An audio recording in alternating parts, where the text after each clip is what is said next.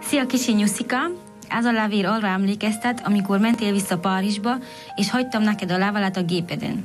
Remélem az a levél is annyira jól fog ásni. Én most ugyanazt érzem, azt a hiányt a kicsi szívecskémbe, mert távol vagy tőlem. Annyira nagyon hiányzol, hogy a marosz fáj, a reggeli együttkelés, a lefekvés, nem érzem az én nyuszim illatát.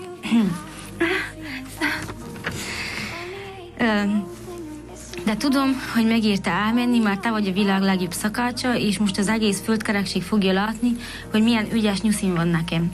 Hamarosan vége a versenynek, és újra látni foglak, és átölelhetlek, megcsókolhatlak. Én vagyok a legbüszkébb, kislány a világon, hogy ilyen ügyes, talprásért érzékeny, szerény párom van.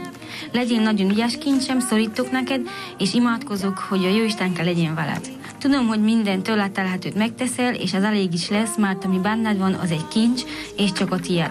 Te dolgoztál rá keményen, ára a kincsre, a levelem az én parfüm illatával van befújva, illatozd meg, hogy érezd közelebb magadhoz. Szeretlek életem örökki, örökre. Zsuzsa.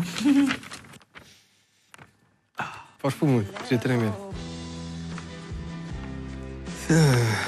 Urează succes, mult succes. Dumnezeu să fie cu mine.